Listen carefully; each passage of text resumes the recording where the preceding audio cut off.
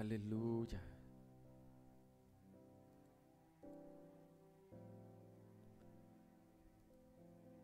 Dios me lo bendiga a todos, amados hermanos, en este día. Vamos a orar para iniciar la palabra de este día con el título Dios es fiel.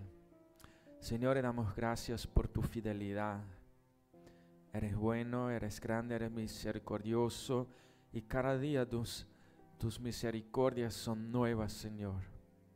Te damos gracias por este servicio, te presentamos a nuestra vida como sacrificio, como perfume agradable a ti, Señor. Diríjanos en tu palabra y bendice a cada uno que escucha este mensaje. En el nombre de tu amado Hijo Jesús. Amén y amén. Dios es fiel. La palabra de este día nos encontramos en 1 Corintios capítulo 1 y el título, como ya lo nombré, es Dios es fiel. Fiel es Dios. Fiel es Dios. Vamos a saltar un poco en esa palabra. Eh, el primer punto es que somos llamados. Somos ser llamados. En el versículo 2 dice, a la iglesia de Dios que está en Corintio, a los santificados en Cristo Jesús, llamados a ser santos. Somos llamados ser santos con todos los que con todos los que en cualquier lugar invocan el nombre de nuestro Señor Jesucristo, Señor de ellos y nuestro.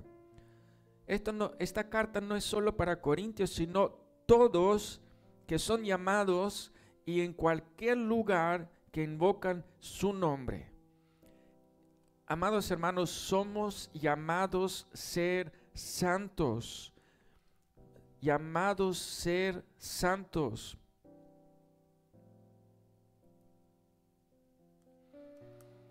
En el versículo 5 dice que somos enriquecido en todas las cosas, enriquecido en toda palabra y ciencia. Estamos enriquecidos en toda palabra y ciencia. En el versículo 7 no nos falta ningún don esperando la manifestación de nuestro Señor Jesucristo. Tenemos la revelación. Tenemos la revelación del Señor. Y estamos esperando que se manifiesta. Que se manifieste en la iglesia, que se manifieste en nuestras vidas, que se manifiesta cuando predicamos, cuando evangelizamos, que el Señor se manifiesta. Amados, somos tan enriquecidos porque tenemos toda la palabra de Él escrito. Tenemos toda la palabra escrito en la palabra, en la Biblia. Tenemos la revelación. Conocemos la ciencia, conocemos quién es Dios. A nosotros fue revelado quién es Dios. Y no nos falta ningún don espiritual para la obra del Señor. Tenemos todas las dones disponibles del Señor. Si será sanidad de sanidad, palabra de sabiduría, em, la diferenciar los espíritus. Tenemos eh, eh, milagros, eh, milagros creativos, palabra, amor, unidad. Todo está disponible para nosotros. ¿Por qué? En el versículo 9 dice, fiel es Dios. Fuimos llamados a la comunión con su Hijo nuestro Señor. Él es fiel y nosotros somos llamados a tener comunión con su Hijo Jesús. Dios es fiel. Fiel es Dios. Él es fiel. Amén. Ahora, los quiero rogar que no abran divisiones. no dejan que el enemigo les divide. Os ruego pues, hermanos, por el nombre de nuestro Señor Jesucristo, que hablas toda una misma cosa y que no haya entre vosotros divisiones, sino que estéis perfectamente unidos en una misma mente y un mismo parecer. Eh, en la iglesia de Corinto, Pablo lo fundó en el segundo viaje misionero, duró 18 meses ahí enseñando y él se fue, comenzaron los problemas en la iglesia. Abran divisiones porque Chloe se lo dijo, en el versículo 2 se lo dice, porque unos dijeron que yo soy de Pablo, yo soy de Apolos, yo de Kefas, yo de Cristo. Entonces tenemos cuatro grupos en esta iglesia que dijeron, no, yo sigo a Pablo, yo soy de, de Apolo, yo soy de este, yo soy de... No, todos somos de Cristo. Cualquier líder en la iglesia, cualquier pastor debe llevar las ovejas al buen pastor que es Jesucristo. Todos pertenecen a Él. A nosotros no nos pertenece nada. A nosotros somos llamados a hacer las cosas y servirle al Señor. Somos llamados para el servicio. No somos llamados para ser dueño. Somos mayordomos. Tenemos que cualquier cosa que el Señor nos da, usarlo de buen modo para su reino. Amén. Entonces no abran, no habrá divisiones en la iglesia. Tenemos que ser en un misma mente y en un mismo parecer. No dejan que el enemigo les divide. estamos en el tiempo de la apostasía. Estamos en el tiempo de, donde eh, el diablo ataca a los líderes, los pastores, los que están salvos para que ellos se aparten de la verdad. Así que siguen en la verdad, siguen al Señor. No les dejen engañar que nuevas doctrinas falsas. La verdad está y cualquier cosa que se predica en la iglesia debe ser analizado por la palabra de Dios. Si no está en la palabra de Dios, esta enseñanza, entonces es una falsa enseñanza. Tenemos que vernos a nosotros mismos por el espejo de la palabra de Dios y lo que se predica también. Porque en el último tiempo aparecen Cristuses, aparecen nuevas enseñanzas, etcétera, etcétera. ¿Para qué? Para fin que sea los verdaderos creyentes que se aparten. Existe solo un Cristo que fue crucificado. Ni Pablo, ni Kefas, ni Apolos fueron crucificados, fue Cristo que se crucificó. Y somos bautizados en el nombre de Cristo, no en Pablo, ni Apolos, ni en Kefas, ni en otro. Amén. Pablo está diciendo aquí, ah, gracias a Dios que yo no bauticé casi nadie. ¿Por qué?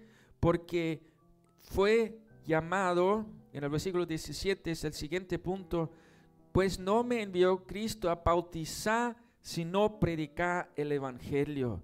Se tiene que predicar el Evangelio de nuestro Señor. Cristo fue crucificado y vive, resucitó. ¿Y cómo tiene que ser predicado? No con la sabiduría de palabras, porque se haga vana la cruz de Cristo, no por palabras sabias de nosotros, porque nosotros estamos enfocados tal la palabra, nuestra predicación es fondo palabra, fundamento palabra, la verdad la palabra, la enseñanza la palabra, para que no sean nuestros sabios pensamientos, no, nuestros sabios palabras, sino la sabiduría de Dios que se predica. Amén. Somos llamados a predicar el Evangelio. Estás llamado a ser santo. Somos bendecidos en la palabra, en la revelación, y no nos hace falta ningún don de Dios. Todo está a través de la fe en Jesucristo. Amén. Mira, la explicación sobre la sabiduría de este mundo y la sabiduría de nuestro Señor. Porque la palabra de cruz es locura a los que se pierden. Aquellos que se pierden, la predicación o la palabra es locura. Pero a los que se salvan, esto es a nosotros, es poder de Dios. Para nosotros es el poder de Dios. Está escrito en Yesaya, destruiré la sabiduría de los sabios y desecharé el entendimiento de los entendidos. ¿Dónde está el sabio? ¿Dónde está el escriba? ¿Dónde está el disputador de este siglo? ¿No ha enloquecido Dios la sabiduría del mundo?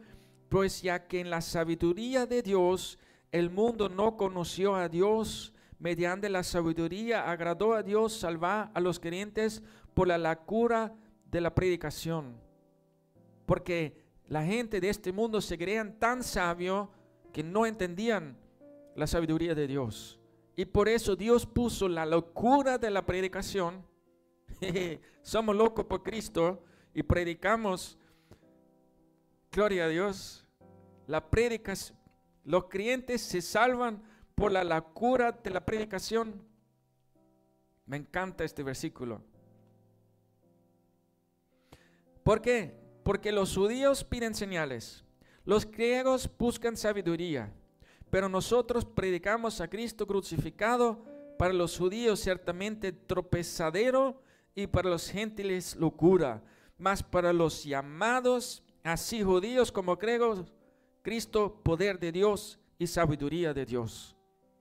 Para aquellos que se pierden es locura, para los que son llamados es el poder de Dios Gloria a Dios. Predicamos el poder de Dios. Aleluya. Porque lo insensato de Dios es más sabio que los hombres y lo débil de Dios es más fuerte que los hombres. Pues mírate hermanos, vuestra vocación, que no sois muchos sabios según la carne, ni muchos poderosos, ni muchos nobles, sino que lo necio del mundo escogió Dios para avergonzar a los sabios y lo débil del mundo escogió Dios para avergonzar a lo fuerte. Y lo vil del mundo y lo menospreciado escogió Dios y lo que no es para deshacer lo que es, a fin de que nadie se yacte en su presencia. Dios agró lo necio para ser santo. Los avergonzado los sabios. Lo débil del mundo escogió para, ser, para que Cristo, Cristo está fuerte en ellos. Lo vil del mundo, lo menospreciado, Él lo escogió para ser santo, para ser alguien en el reino de Dios. ¿Tú lo crees? Para que nadie se puede actarse en su presencia. Dios es fiel fiel es Dios. Fuimos llamados a tener comunión con el Hijo. Fuimos llamados a ser santos. Somos más que bendecidos, enriquecidos en la palabra y la revelación. No nos hace falta nada de los dones, porque todo nos dio a Dios, porque fiel es Dios. Sean uno en Cristo no dejan que el enemigo le divide. No dejan que el enemigo le divide. Y se lo digo porque el diablo quiere dividir la familia, las iglesias, las parejas, todo. Porque sabe cuando la iglesia se une, se manifestará el poder del Señor. Y gente se salvarán.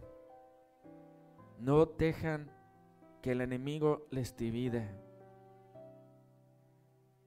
Buscan la sabiduría del Señor. Amén. Vamos a cerrar con este versículo 30-31. Mas por él estéis vosotros en Cristo Jesús, el cual nos ha sido hecho por Dios sabiduría, justificación, santificación y redención, para que como está escrito, el que se gloria, gloriese en el Señor. Padre, damos gracias por tu palabra. Gracias por tu fidelidad. Tú eres fiel. Nos llamaste a ser santos. Nos llamaste a la unidad, Señor. Y estoy orando, Señor, en cualquier área que el enemigo se quería meter para dividirse, será echado fuera en el nombre de Jesús, fuera de las familias, fuera de las iglesias. Declaramos esa unidad que tú eres, Señor. Tú eres uno con el Padre y nosotros queremos ser uno en ti, Señor. Y, y hablamos esta unidad a las iglesias, hablamos esta unidad a las familias. Y, Señor, bendice esa unidad. Únenos cada día más, Señor. Somos tal vez vil y débil y menospreciado, pero tú nos hiciste hacer algo en tu reino, Señor. Y damos gracias por eso, porque en ti está la sabiduría. Gracias te damos por las predicaciones, Señor. Que esa predicación, la palabra tuya, la verdad tuya, será eh, como un fuego que sale a este mundo y transforma vidas en el nombre de Jesús. Este es mi deseo, que las almas se salvan, Señor, a través de este mensaje. Deja que este mensaje fluya a este mundo, Padre. Te lo pido en el nombre de Jesús. Amén y amén. Seamos uno en ti, Señor. Gracias te damos en este día. Y me despido de esta predicación, amados hermanos, que el Señor me lo bendiga grandemente. Un saludo a su pastor Stefan.